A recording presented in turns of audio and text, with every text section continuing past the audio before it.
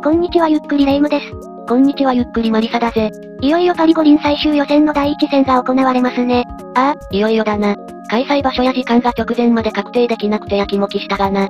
今まで培ってきたものを存分に試合で出してほしいぜ。試合前の情報を伝える記事を見てみよう。まずは相手となる北朝鮮側記事だ。移動中にトランプ遊び。北朝鮮女子。日本戦ドタバタ移動も平成と韓国指摘。気にしない。日本は24日に五輪アジア最終予選で北朝鮮と対戦。なでしこジャパン。日本女子代表は2月24日。サウジアラビアのジッタで行われるパリ五輪アジア最終予選で北朝鮮と対戦する。試合のわずか3日前に開催地が正式決定する異例のドタバタ劇となった中北朝鮮の選手たちはリラックスした様子で現地入りしたことを韓国スポーツ紙 MK スポーツが伝えている。日本はパリ五輪出場権をかけたアジア最終予選で当初第1戦を北朝鮮の平壌キム・イルソン競技場。第2戦をホーム28日東京国立で行うとされていたが今月8日 JFA は試合運営面の問題から第1戦の開催地が未定となったことを公表。AFC より正式な通達がなされない中20日に中立地開催を見込んでサウジアラビアの実態移動した。中立地開催が正式に決まったのは試合のわずか3日前21日。イタリア一部エースローマに所属するディフェンダー熊谷咲らは一度イタリアから日本へ帰国後中東へ再び空路で移動を余儀なくされる事態に五輪出場権がかかった重要な戦いへの影響が懸念される。北朝鮮は21日に平壌を出発し1日かけて中国の北京へ22日にサウジアラビア入りしたとされている。北朝鮮の選手たちは経由地の中国北京で日本に勝つ自信はあるか？との問いに自信はある。と答えたという。韓国スポーツ紙 MK スポーツも FIFA ランキング9位の北朝鮮は、8位の日本と急遽ホームで試合をできなくなった不利な状況もあまり気にしなかった。と取り上げている。日本は当日の夜、飛行機でサウジアラビアへ向かった。一方、北朝鮮は急ぐ必要がないかのように、21日遅くサウジアラビアへ向かうために中国北京にやってきた。日本のテレビカメラを気にせず、とてもリラックスした様子で航空便を待った。空港の床に座ってトランプカードで遊ぶ選手までいたほどだ。北朝鮮には昨年のアジア大会で5試合計12ゴールと活躍したフォワード、キム・ギョンヨンらがおり、決して侮ることはできないだろう。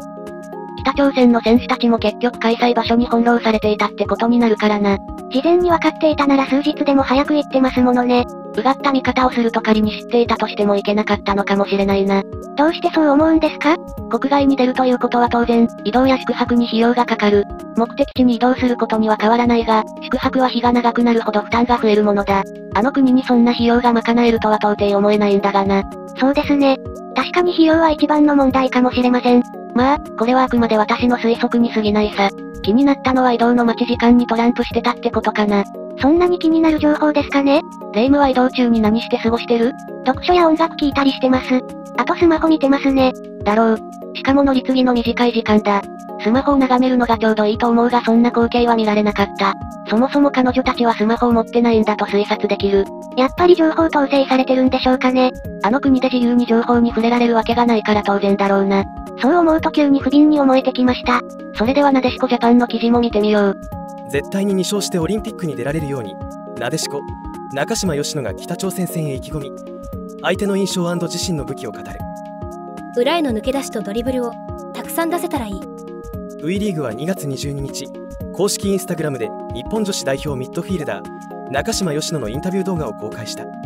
なでしこジャパンに選出されている中島は、パリ五輪出場がかかるアジア最終予選の北朝鮮戦に臨む。五輪について問われると、こう答えた。やっぱり大きな大会ですし、たくさんの方が見ていると思う。たくさんの方に女子サッカーを知ってもらうために今回、絶対に2勝してオリンピックに出られるように頑張りたいです。昨年10月のアジア競技大会の決勝、4対1で対戦した北朝鮮については、前への推進力とフィジカルが強いという印象があります。と語る。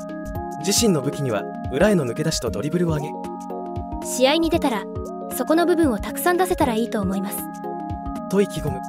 ファンサポーターに向けては。オリンピックの切符を勝ち取るために2勝できるように頑張ります。応援よろしくお願いします。と呼びかけた。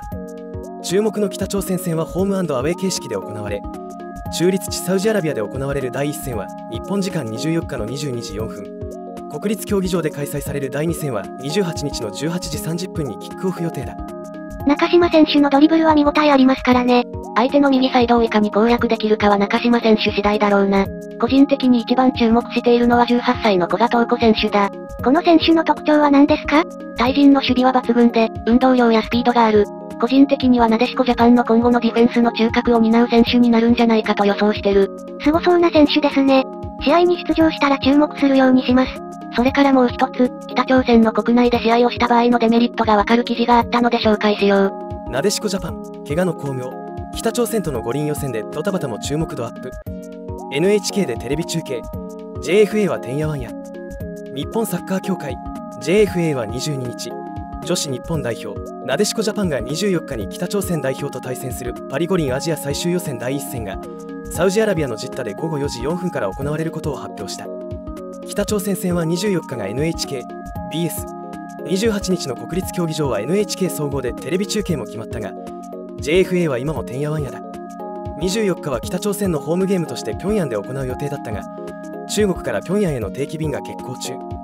中央アジア経由の可能性もあったため、JFA は平壌行きのチャーター機を手配をしていた。しかしサウジ開催となり、当然のことながら、チャーター便のキャンセル料が発生することになる。と頭を抱える事態になった。そればかりではない。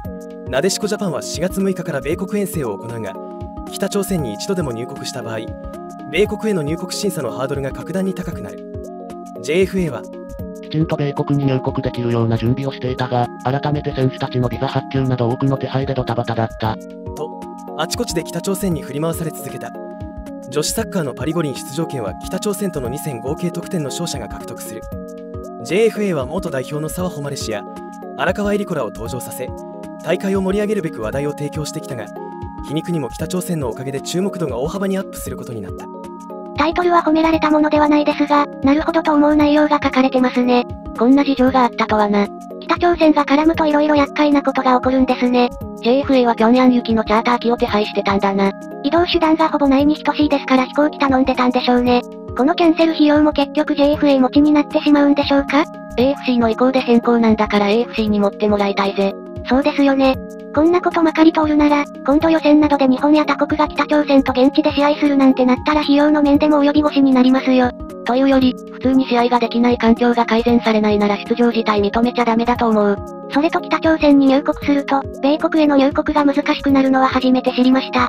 これは何気に大問題だと思う。今後の生活に関わることにもなるからな。めったに行かない国に入国したらアメリカに行けなくなるかもしれないんですからね。迷惑この上ない話ですね。ネットの反応も見てみよう。怪我の巧妙なんていやらしい言い方に感じるが、茶化すような記事だが、選手たちは相当大変だろう。28日のホーム戦も含めれば短期間に地球1周くらいの移動コンディション調整なんてまともにできない。怪我のないことを祈りたい。チャーター便のキャンセル料。当然、AFC に請求してください。うやむやにすべきでない大問題です。どうせ北は払えるわけないですし、こうなることを予測して、早めに対策を取るのは AFC また、責任取ってもらわないと、悪しき前例を作らないように、JFA にはしっかり動いてもらわないと。AFC は数々の北朝鮮のこれまでの前科からして、最初から平壌だけでなくて北朝鮮国内での国際試合開催は不可とすべきだった。それを JFA が強く訴えてこなかったことにより今回のような事態が起きたアジア大会決勝の北朝鮮戦が忘れられなくてあれから何度もハイライトを見返している。彼女らも雪辱を果たさんと牙を研いでくるはず。なんといっても普段から男子と試合をしてるだけあって当たりは強いしテクニックもある。精神性に至っては国の事情もあり生死がかかっているというレベルで来るはず。なでしこはプレなでしこで優勝したわけだけど正直若い世代の方が勢いがあって押し切ったようにも見えた試合なので用心してほしい。北朝鮮開催だと選手コーチは入国できても調理厨房シェフなどのスタッフが入国できない。食材なども持ち込みもできない可能性が高かった。中立国開催で選手の状況が良い方向に変わる。チャーター機のキャンセル料など費用に関して心配な声が上がってますね。そりゃそうだろうどこでやろうが余裕を持って確定できていればこんなことにはならないさ。これじゃ問題のある国とは試合したくなくなりますよね。AFC にはもう少し当事者意識を強く持ってもらいたいぜ。しかし決戦は目前に迫った。24日サウジアラビア、ジッタで第1戦。28日日本、東京で第2戦が行われる。これを制した者がパリオリンピックに出場できる。これをものにするかどうかで、今後の日本女子サッカーの未来が変わってきますね。